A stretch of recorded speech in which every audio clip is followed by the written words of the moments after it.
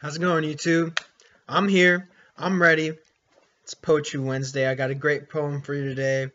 Great author. This is a really famous poem, so you've probably heard of it. This poem is called The Poor Ghost by Christina Rossetti. Have you heard of it? Yes? No? Yes? You have now. You're about to hear it.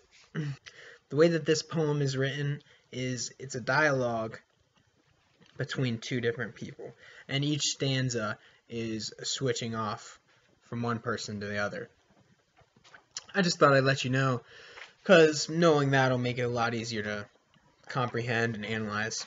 Oh, whence do you come, my dear friend, to me, with your golden hair all fallen below your knee, and your face as white as snowdrops on the lea, and your voice as hollow as the hollow sea?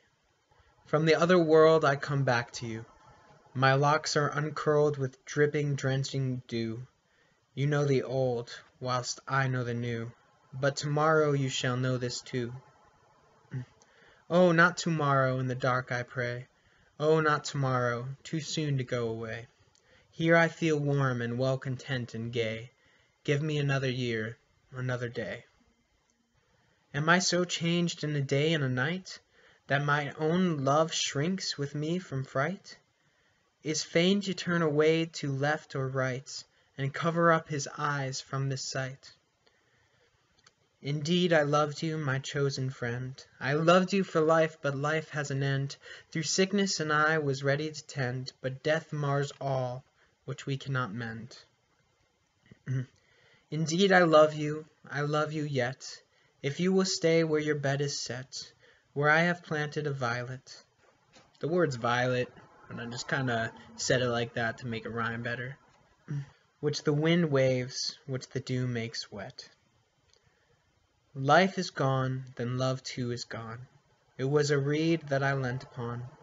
Never doubt I will leave you alone, and not wake you rattling bone with bone. I go home alone to my bed, dug deep at the foot and deep at the head roofed in with a load of lead, warm enough for the forgotten dead. But why did your tears soak through the clay, and why did your sobs wake me where I lay? I was away, far enough away. Let me sleep now till the judgment day. I really love that poem. It kind of hits a lot of topics from mourning to how we should be living our lives.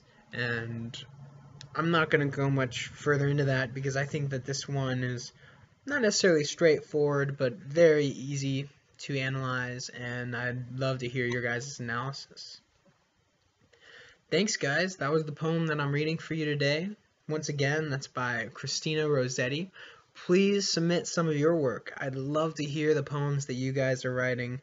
I just love poetry in general, and uh, yes, I love famous works because they're obviously really good. But I want to hear some of the underground stuff, some of the stuff that's being written behind the scenes and in a bedroom somewhere far away. Alright, you guys, last thing. I hate to do this shameless self-promotion stuff, but my band Watercolor Weekend is coming out with an album and an EP. They're going to be released on Spotify within the next two weeks. They're already finished, they're already ready to go. So I'm going to just play the background of one song.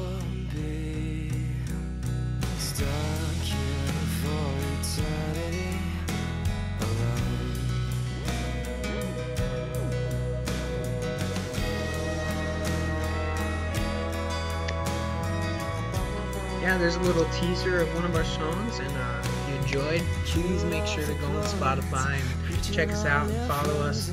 Also, remember to subscribe for more poetry, covers, all that jazz. I'm, I'm your guy. All right, have a great day.